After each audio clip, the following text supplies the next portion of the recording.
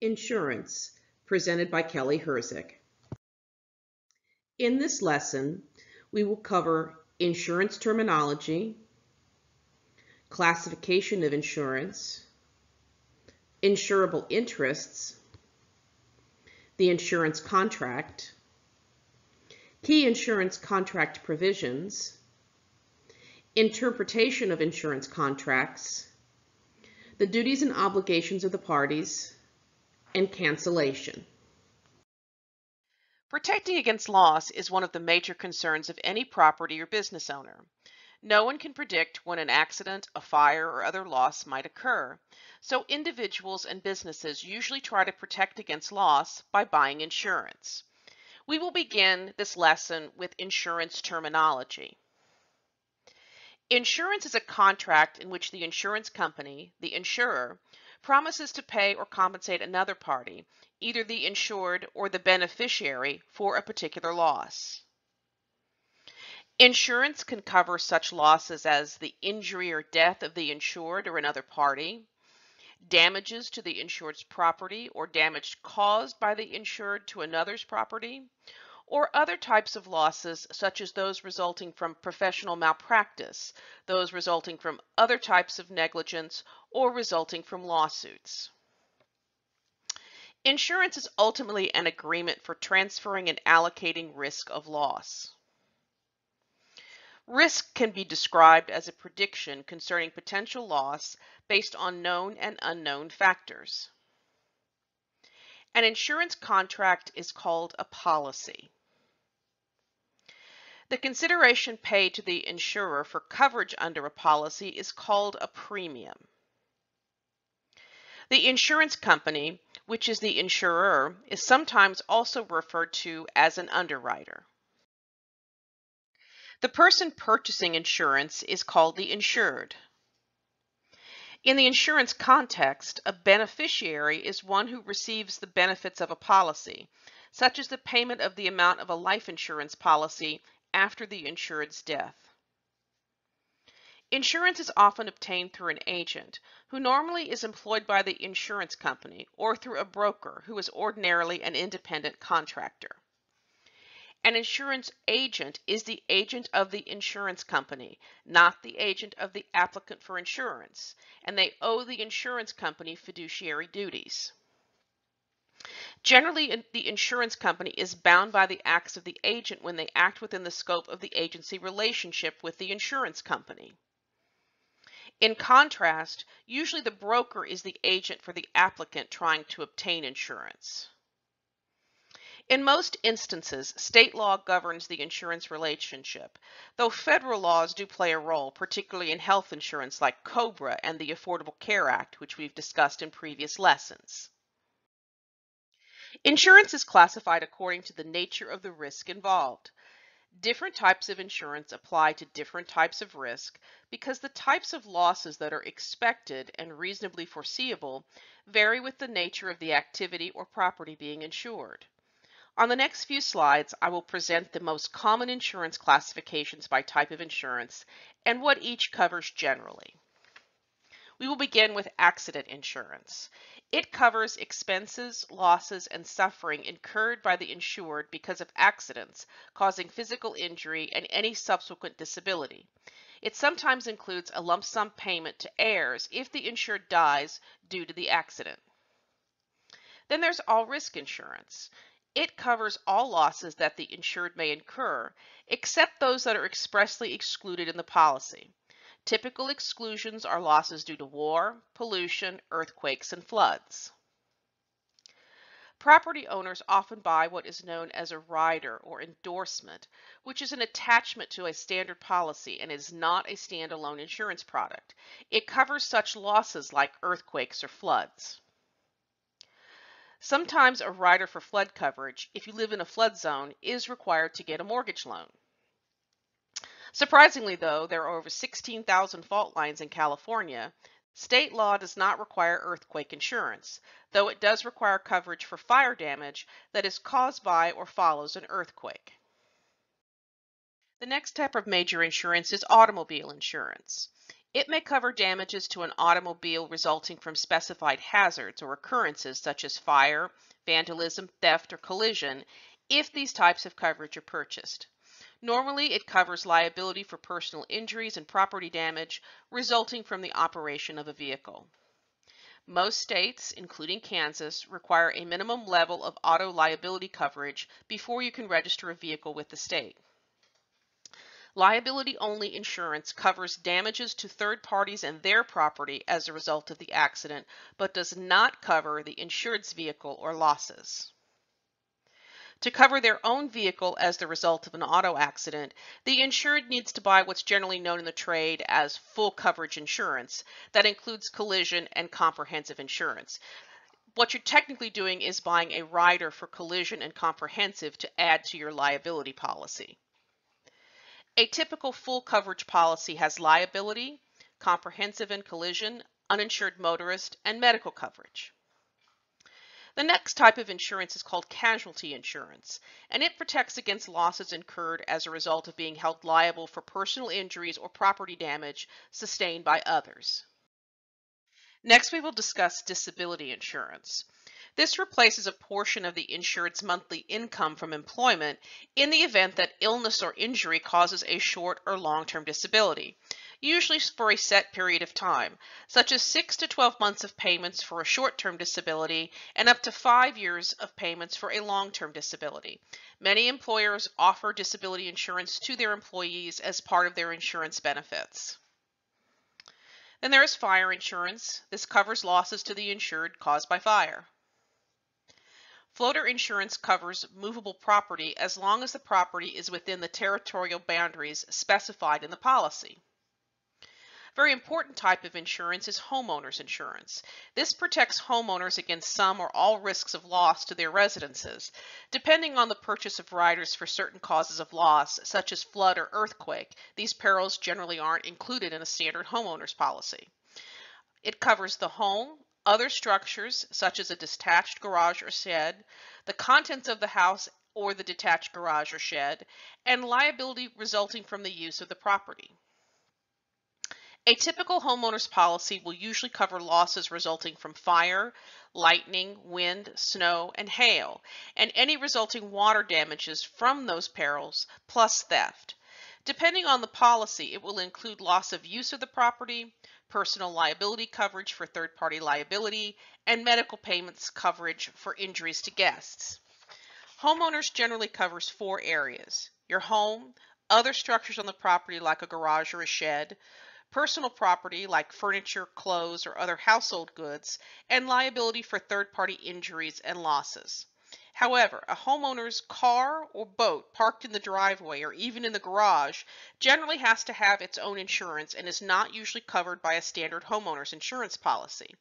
In contrast, if the car belongs to a third person, a visitor, and is parked on the homeowner's driveway and is damaged because one of the children breaks a window in the car with a baseball, the cost for repairing the car would be covered because that falls under third-party liability.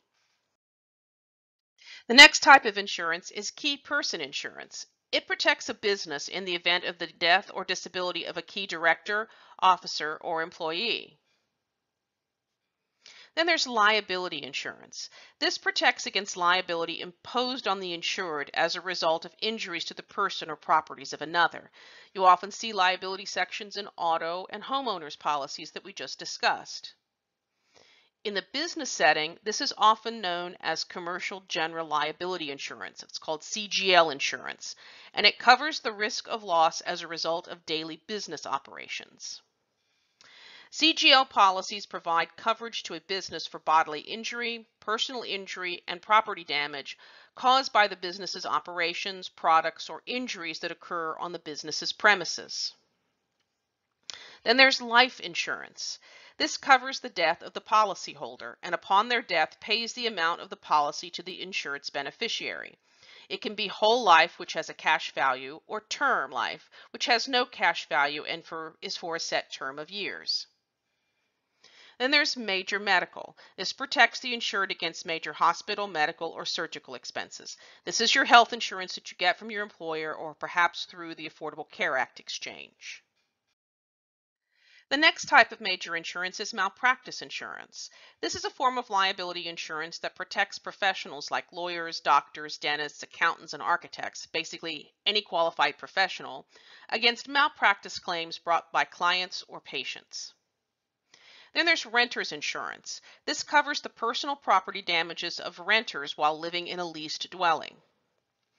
Usually a landlord's property policy on the apartment building or other rental property does not cover the personal property of tenants. Like homeowners insurance, renter's insurance does not generally cover losses from floods or earthquakes. Then there's umbrella coverage. If the insured is sued over an accident and the settlement exceeds the liability limits under an auto and or home insurance policy, this coverage takes over to further cover an insured's assets. Umbrella policies are secondary insurance. This just means that the, the, coverage kicks in second after the auto or home insurance policy limits have been reached. Finally, there's workers' compensation. This is a form of insurance providing wage replacement and medical benefits to employees injured in the course of employment in exchange for mandatory relinquishment of the employee's right to sue his or her employer for negligence. Next, we will discuss insurable interests. A person must have an insurable interest in something in order to insure it from risk of loss. Now, this applies equally to legal and natural persons, meaning both an individual and a business have to have an insurable interest in something in order to insure it. Without an insurable interest, there is no enforceable insurance contract. The existence of an insurable interest is a primary element in determining liability under an insurance policy. This just means that if someone doesn't have an insurable interest and they make a claim under an insurance policy, the insurance company doesn't have to pay that claim. For property insurance, an insurable interest exists when the insured derives a monetary benefit from the preservation and continued existence of the property the insurable interest must exist at the time loss occurs, but need not exist when the policy is purchased. For example, as soon as you sign on the contract for the purchase of a car, you have an insurable interest in the car, even if you do not take delivery, physical possession of the car, immediately. For property damage coverage, if all ownership interest in a property is transferred to another through sale or court order like a divorce decree, and loss occurs after the property's complete transfer, the party who no longer has an ownership interest in the property has no insurable interest. Let's take a look at an example. Larry and Betty are married and take out a homeowner's policy on their home. However, Larry and Betty divorce later, and as a result, Betty is awarded the marital home and must continue to pay the mortgage and insurance premiums under the divorce decree. If a fire later destroyed the house, Larry would have no insurable interest in the property and would not be entitled to any of the insurance proceeds, even if he was an original insured under the policy at the time it was purchased. All the proceeds would be paid to Betty as the sole property owner. In regard to life insurance, if the person insured is not themselves, meaning you're not buying a policy on your own life, a person must have a reasonable expectation of benefit from the continued life of another to have an insurable interest in that person's life. For example, a husband can take out a life insurance policy on the life of his wife, or a parent can take out a life insurance policy on the life of their child. In the business setting, key person insurance can be taken out by the business on the life of a key director, officer, or employee. The insurable interest must exist at the time the life insurance policy is obtained. Further, a life insurance policy taken out by one spouse on the other will remain valid even after a divorce, unless a specific policy provision provides for the termination of the policy upon divorce, and that's fairly common. In the business setting, if a company takes out a key person policy, if that key employee leaves the firm and subsequently dies, the company can still collect the benefit of the insurance as long as the premiums are paid or unless a provision in the policy terminates the policy if a key employee leaves for another company. Next, we will discuss the insurance contract. An insurance policy is just a contract and is governed by general contract law, usually under state common law and state statutory law, though federal law does also play a role. The insurance industry is usually heavily regulated by each state in terms of policy provisions, pricing, and licensing of agents and brokers, as well as oversight and review of these companies to make sure that they are solvent and comply with insurance laws and regulations. In Kansas, the Kansas Insurance Department, headed by the Insurance Commissioner, regulates the insurance industry. Customarily, a person obtains insurance through an application for insurance to the insurance company, who can either accept or reject the application. The acceptance may be conditional. For example, you can condition a life insurance policy on a medical exam of the insured person. The application form is usually attached to the policy and made part of the insurance contract. If an applicant makes material false statements on the application, it can void coverage, particularly if the insurer can show it would not have extended coverage based on the true facts. The effective date is the date on which insurance coverage begins. Any loss sustained before the effective date of the policy will not be covered. In some situations, coverage does not begin until a formal policy is issued. If an applicant is using a broker and the broker does not procure the policy, there's no interim coverage.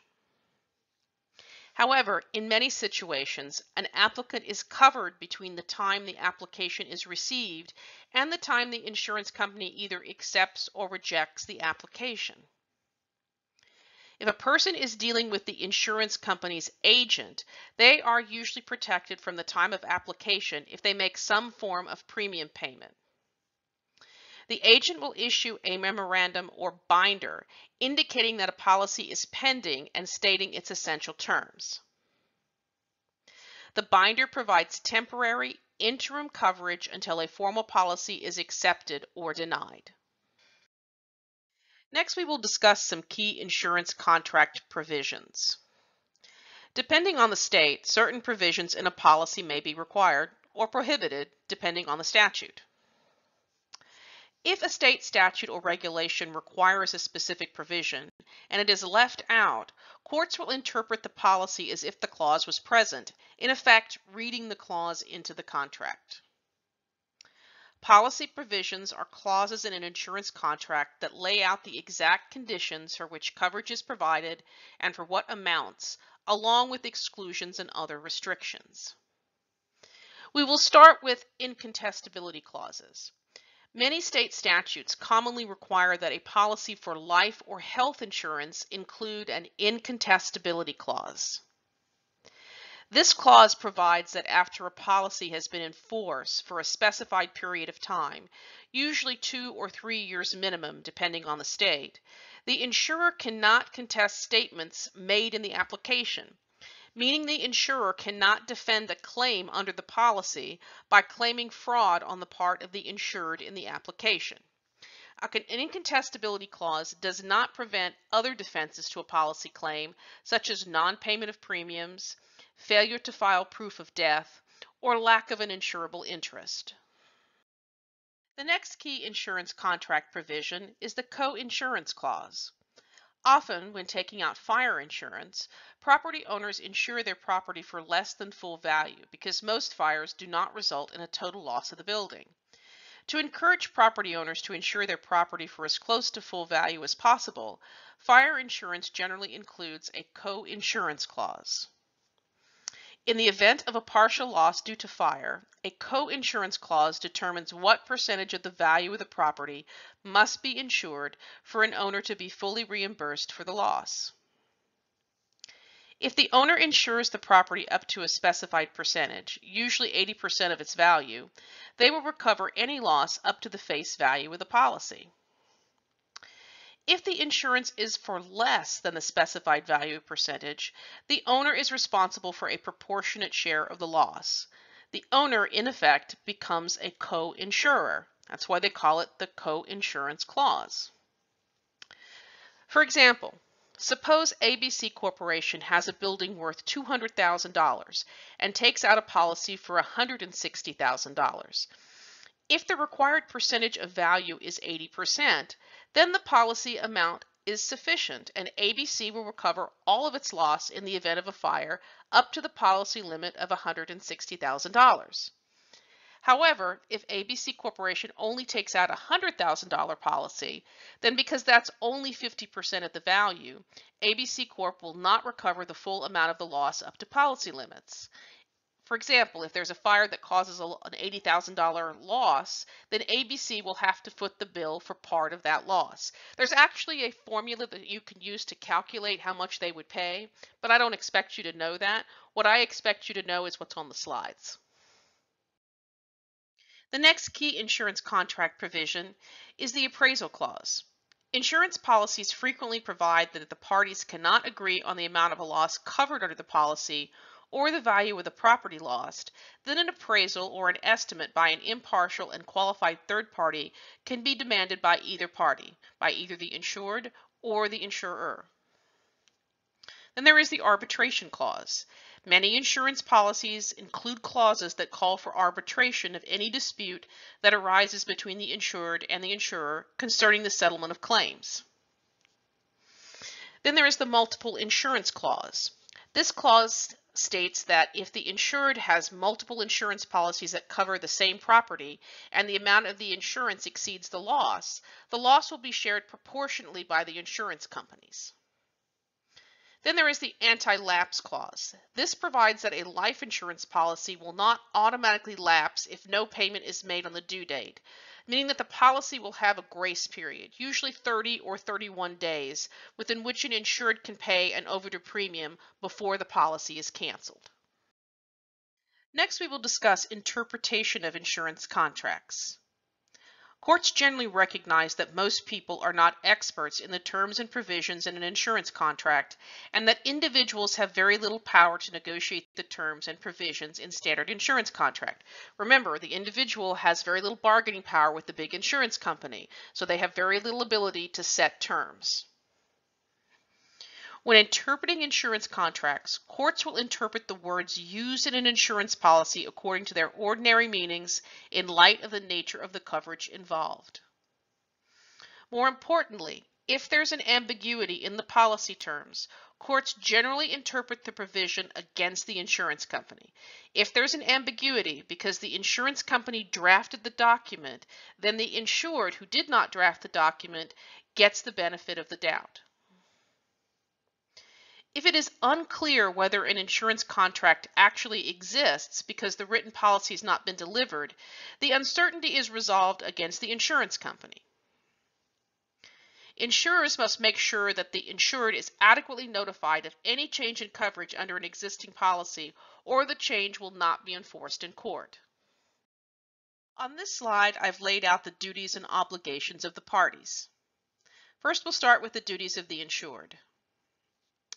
An applicant for insurance has the duty of good faith to reveal any necessary facts for the insurer to evaluate the risk of issuing the policy. Once the policy is issued, the insured has three basic duties. To pay the stated premiums, to notify the insurer within a reasonable period of time if an event occurs that gives rise to a claim, and to cooperate with the insurer during any investigation or litigation. Next, we will discuss the duties of the insurer. If there is a claim, the insurer has a duty to investigate a claim and must make reasonable efforts to settle the claim with the insured or any third-party claimant. The insurer has a duty to defend the insured, including paying attorney's fees and costs in any lawsuits based on a claim regardless of merit. The insurer has a duty to pay any legitimate claim up to the face value of the policy.